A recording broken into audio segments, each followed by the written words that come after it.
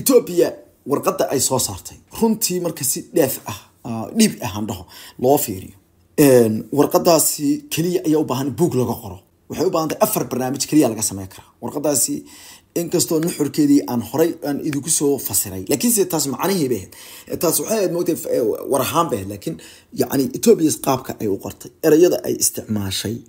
Dadka luqadda ingiriiska sida wacan u yaqaana ama akhriskeeda ku fiican hadday akhriso lahaayeen oo ay ku celceshadaan. Waxa ay dareemayaan waxa ay dareemayaan eg waxna waa fahamka. Waxaana maaragtay ii sheeg waa waa waa waa waa sida maaragtay waxaan aad loo akriyo yacni fahamka markaad eray eray xataa ingiriisiga grammarka ay adeegsadeen iyo kelmadaha vocabularyga i mean ay adeegsadeen waxaa weeye waa kuwo isugu jira handadaad damac qab taariikh yacni iyo yool baa oran karaa. Waxaa kaloo ku jira erayo sharci ah baa ku jira. Waxaa kaloo ku jira erayo degniin ah waxaa kaloo ku jira erayo cagajugleyn waxaa kaloo ku jira isballaadhin. Expressionist yacni yacni maarata ii sheegay mustacmarnimo waxaa ku jira yacni afkaar waxaad arkaysaa khubaro inay waxaan qortay waxaad arkaysaa wadan taariikh fog oo fac weyn etoobiya waxyaalaha ay hodan ka tahay waa taarikhda waad ogtihin inay qoreen waxaad ogtahay waxaani inay wax in badan badan badan ay ku taamayeen ay tahay waxaad ogtahay waxaani wax wadna taabada oo wadnahooda ka soo galay ma maqashay qofkaas wallahi hadalkiisa qalbigaa ka soo qalbigiisu ka soo go'ay qalbigooda wax ka soo gacay waxaa kaloo ka muuqata yididiilo ay dadkooda tusayaan. Waxaa kaloo ka muuqata in ay lahaansho the ownership. Waxay kaloo tusayaan waxayba leeyihiin arrintan xaq baan u lahayn. Dhulkan waan ka daahnay taariikh khaldantay baan saxnay. Tusaale ahaan ararta ararta warqadooda markay qoreen waxay yidhahdeen waxay m o u wuxuu ka koobnaa bay kuleeyihiin maarata ii sheegeen wada baaxad weyn the wide scopes of cooperation bay yidhahdeen in social economic political military fields. Yani sida waa memorandum of understanding mou for partnership and cooperation has been signed between federal democratic republic of of Ethiopia and the Somalia bay caan uga dhigeen markii dambe waxay dhaheen the MOU includes Mali. Includes waxaa ku jira fiir the scopes of the cooperation in social economic political and military fields. Yani yani sida ay ugu raaxaysteen sida ay u qorteen kadibna waxay yidhahdeen fiiri kadib markii gudgudoonka afrika bay yidhahdeen the fluid scramble of the african somaliland markaa bay ka bilowdeen oy ku ma maqli jirteen nimanka gabayaasha hebel buu ku halqabsaday. Somalilanti bay ku halqabsadeen. Si ay ayaga u sii buufiyaan si ayaga kor ugu sii qaadaan waxay leedahay somaliland remained under a british uh, colonial rule. The and gained bay yidhaahdeen maarata ii sheegeen independencegeedii waxay qaadatay waxay heshay fiiri waxay rabaan contextka inay bedelaan marxaladda inay ka dhigaan marxalad khilaafi ah oo soomaalida u dhexaysa waxay rabaan inay rootska dib ugu celiyaan the social maaratay wax loo yaqaano i mean dispute of somaliska waxyaalaha inagu aynu ku kala duwannahay bay ka soo duulayaan halkaasay ka unkayaan xadhigooda laxankana halkaasay ka saarayaan waxay kuleeyihiin somaliland waxay ahayd june dheh ayay noqotay dowlad kadibna iyadaa si iskeeda si voluntary ah si in ay ka dhigaan taariikh laba oo laba kala haystaan bay ayaga waxaysan ogeyn ayaga iyo talyaaniga iyo faransiisku inay suukaay mid ahaayeen oo gumaystayaal dalkeenna waxay rabaan inay qaneeco ah ina tusaan soomaalida taariikhdoodu inay bilaabatay ama in other words eighteen hundredk qarnigii sideed tobnaad qarnigii sagaal iyo qarnigii sagaal tobnaad inay bilaabatay bay rabaan inay inooga dhigaan iyo qarnigii sagaal iyo tobnaad bay inooga dhigaan. Oo waxay rabaan inay aasaan oo xabaalaan bay doonayaan. Markii eritrea egfiri eritrea eritrea iyada ethiopia ku soo biirtay moogta taariikhda waa haysaan soo ma. Waan arkaya unfortunately madaxweynaha soomaaliya oo khudbadda arrintaa taarikhdeeda xumeynaya si uu qiil ugu sameeyo. Nidaamka gonigosadka wuxuu yihi eritrea iyo ethiopia inay kala go'aan mudday ku qaadatay buu yihi moogta wuxuu rabaa markaa inuu yiraahdo inaga iyo Soomaaliya waa kala go'naay muddo qaadana waa hadalkii khudbad ku sheegay khudbada ma hadal golo ka fuulaho wuxuu ahaa aan dumaasiyadna ahayn warqadii waxa la sheegay la soo diyaariyay in imaaraadku dhaxda markuu soo mariyay telefoon soo diray. Saas wallahi la xaqiijinaya. Dadka qaarkood ay xaqiijinayaan oo leeyihiin madaxweynaha warqad buu soo qortay. Ilaa madaxweynuhu arrimaha maartay caalamka marka madaxweynayaashu ka hadlayaan. Hal arrin iga qaata take my words. Una fiirsada shirarka jira ida caalamku ay qabanayaan marka uu madaxweynuhu rabo inuu khudbad noocan oo kale ajeediyo qaranka la hadlo labadii aqal ee baarlamaanka meesha la keenay oo dal kale uu ka hadlayo madaxweynuhu ile dal kale uu ka hadlaya dal kale madaxweynuhu markuu ka hadlayo wuxuu iska ilaalinayaa erayuu iska ilaalinayaa legal spirit buu iska ilaalinayaa wuxuu iska ilaalinayaa macnaha legal splight buu iska ilaalinayaa wuxuu iska ilaalinayaa waxyaalo ay ka mid tahay yani qadaf buu iska ilaalinayaa erayadu xulanayaa hoos u dhac buu iska ilaalinayaa hadal kale wuxuu iska ilaalinayaa liita inuu yiraahdo wuu soo qoranaya. Because arrintan waa arrin dalka iyo marxaladda ku sugan. Laakiin madaxweynuhu siduu masaajka uga hadlayay buu uga hadlay labada aqal. Waad arkaysa warqad ma haysan that means trashka lagu daray wixii la qori lahaa. Sidaa daraadeed arrin iska caadi oo marxalad iska caadi oo iska fudud waa. Arrinta meesha taale arrin waxay ahayd arrin aad iyo aad iyo aad iyo aad u xun bay ahayd.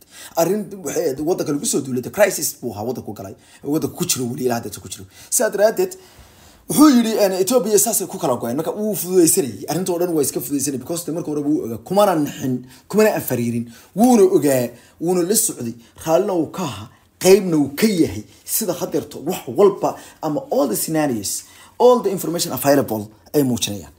Ethiopia marka warqadda ay ku nucnuucsatay hadalka sida ay u dhigatay sida ay u muujisay sida ay u qoratay waxaa iigu darnaa aniga waxyaalaha aanan ilaawi karayn.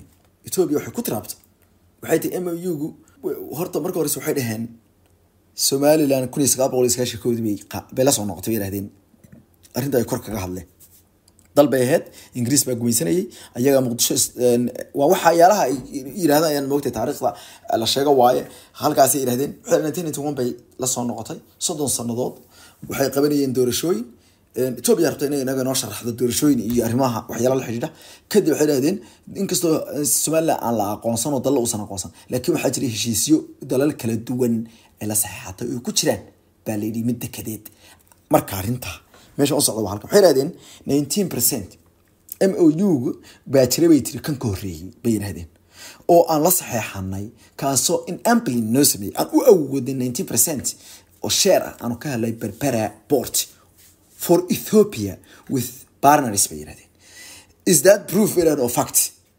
Taasi miyaysan ahayn taasi waa xaqiiq dhaba oo dhacday bay yidhahdeen fiiri yad bay yidhahdeen hadda weli wey moogta ma aysan keenin ay yidhahdeen wax cuncun iyo digdig iyo wax ka cabanaya toona maanaare yaa lala hadlaya mataqaana xasan sheekh maxamuud waa lala hadlaya. Teramkiisii hore boqolkiiba sagaal iyo toban ma waana anagu ka qaadan. Ma weydan ogey. Moogta qaabkan ay wax u qoreen xataa waxaan la yaabay sida uu u yahay maaratay yani waxay kutusaysaa niman khubaraa nimankan haystaan waxay kuleedahay maaha etoobiyaanka inaan amaanayo business waxa wey cadowgaaga waa inaad horta ogtahay waa inaad evaluate garaysaa evaluation markaad ku samaysaa cadowgaaga markaa keliyaad ka arsan kartaa qaabkay nimankan u diyaarsan yihiin bal fiiri. Waxay kuleeyihin sagaal iyo toban boqolkiiba maalintaanu qaadanay. Maba jirin bay yidhahdeen wax murmur. Wax yidhahdeen murmur bal wax ereygan loo yaqaano erey waxaa jira ingiriisi oo caana. Waxaa ku jira ereygaas waxaa leedahaa murmur. Ereygaas ereygaas ereygaas waxaa weeye tusaale ahaan si maaragtay ii sheegeen waxa weye u soo dhow yahay. Odhahda soomaalida ee tirahda mataqaanaa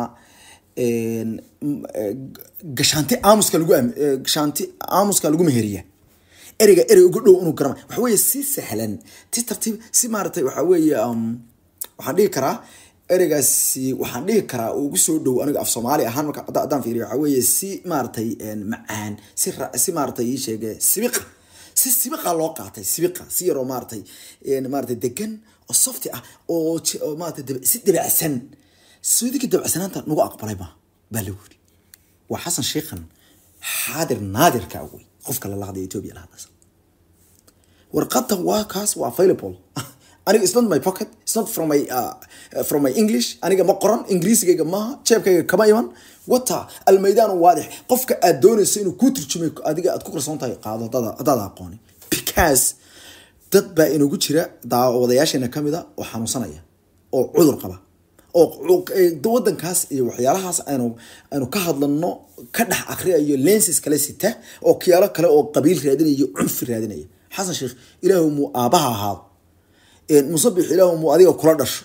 Annaga waxaanu ka hadlanaa waa wadankii kama hadlano annaga xasan sheekhna kama hadla yani xasan sheekh hadduu gurigiisa joogo maanu ka hadlano gurigiisa gurigiisa hadduu joogo maa laga hadlo sheekh shariif iyo maalamaago xasan cali khayreem wax laga sheego waa kuwaas guryahooda iska joogaan. Ninkan waa madaxweynihii soomaaliya nabatoon maaha. Sida daraadeed waxa uu sameynaya wax weye waa gef waxaana etoobiya markay maqraati gashanos ha ka soo jawaabo ereygaas there has been no murmur markay leeyihiin or combine haba yaraatee ma jirin wax haba yaraatee yani haba yaraatee wax yar oo softi ah wax yar oo sibiq yar xitaa in yar oo diidme ah wax yar oo sakati ah sakati. Ereygaan raadinaya waka sakati waay ereygan maanta oo dhan aan raadinayay. Haba yaraatee wax yar oo sakati ah ma jirin si dabacsan baana arrintaa loo aqbalay waaye. Macnaheedu waxa weeye qofkaasi kama sakatiin arrintaas xataa kama shakiyin waay ereygaan maanta raadinaya waa kaas markii arrintan la sii daayay maba jirin waxayna sheegeen intaasi ay ahayd mid kale. Waxay kaloo hadda ku caddeeya kan waxay yidhahdeen recent m o u waxaa loo saxay si ethiopia ay u hesho baa leedahay ethiopia to gain a military pace iyo access in ay u hesho commercial maritime services through hadda iyadoo fiiri heshiiskan heshiiskan iyadoo la marayo ee ethiopia ay qaadatay haddaba ethiopia noomay naxariisan erayada noogumay turin eraba ereygu ka daran yahay noo qorto. Kelmado kelmada ka daran tahay u qortay madaxweynaheena iyo dalkeena ilaa haddeertana ficil mahayno maxaa markaa inoo muuqda maxaase inoo talaa waxaa inoo talaa inagu inu isku tashano wadankani horta marki horta sideedaba wadanka soomaaliya weligeed ee lehid dhalinyarada ayaa waxay ku difaaci jirtay wax loo yaqaano waxay ku difaaci jirtay kacdoon. Kacdoonkiina dagaal baa lagu hayaa kacdoonkii dagaal baa lagu hayaa. Aflagaadaa lagu hayaa. Dacayad baa lagu hayaa. Yaa ugu horreeya madaxweyne xasan sheekh maxamuud baa ugu horreeya ma hiya daliil? Hada daliil marka. Daliilku waa kan. Khudbadii baarlamaan ka jeediyey waxa uu yidhi wuxuu yidhi mele sanaawi ayaa wadankan ciidan etoobiya soo geliyey. Markuu mele sanaawi ciidanka etoobiya soo diray al-shabaab baa ka dhashay buuri hadda eeg waa madaxweyne soomaaliya. Al-shabaab baa ka dhashay buuri maantana wuxuu yihi al-shabaabku waa ka adkaan. Ko sidaa daraadeed wuxuu yihi weli waxaa jira dad al-shabaab fikradooda qaba iyo dhalinyaro nationalista. Eeg hadda ereygaas ingiriisiga isticmaala markasta wuxuu diidaya dadka audiensiga dhan inay fahmaan ereyga. Dhalinyaro wadaniyiina ayaa jira. Kuwaa ha sii fogeynina buuri ya? Muxuu markaa isku xidhayaa? Dhalinyarada shabaabka iyo dhalinyarada wadaniyiinta buu leeyahay waa isku nooc. Waa xagjiriin buu leeyahy waa dadka dagaalku haya baraha bulshada waxaa kaloo ka soconaya. Baraha bulshada waxaa ka soconaya erayo aan la yaabay. Waxaa ka mid a annaga wadaniya dambe looga nalooga sheekey maayo. Reer hebel dib wadaneed loogu khaldi maayo. Waxa waanu ka ilbaxnay. Erayo noocaasa yeri yaa qoraya waa commentiyo isku wada mida markaad fiiriso. Waxaa soo qoraya toban qof oo markaad i p gooda tix raacdo isku meel jooga oo kala koobiyeynaya laakiin magacyo kala duwan wata. Eryadaasi. Marka waa maxay waa waa division bulshada soomaaliyeed lagu sameynayo waa waxyaalaha halista ah aynu ogaanay ee soconaya waana waxyaalaha xasan sheekh uu afkiisa ka yidhi. Waa sida xasan sheekh uu afkiisa ka yidhi. Maxaa tihi xag tihiin. Xag maxaa tihiin wadaniyad wadaniya waxaa kaloo la yaab leh. Waxaa kaloo la dhahayaa. Tahay ereyo kale waxaa soo baxay haddeerto la leeyahay ereyo kaloo leeyahay dadka arrintaa ka hadlaya. Ale badda midikaa leh ee deegaankiinu bad ma laha. Fiirad bogti. Okay fine. Deegaankaygu bad ma laha kaba soo qaad.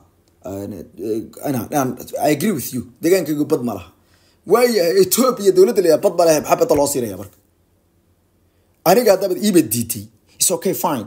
Adigu haddaad ii haysatid oo ii cuntid waa intaasan clear rabaa adiga inaan lagaa qaadin erayadaas iyo ka badan baa soconay. Dagaalku markaa ma yara. Arrimuhu waa arrimo waaweyn wayna abaabulan yihiin.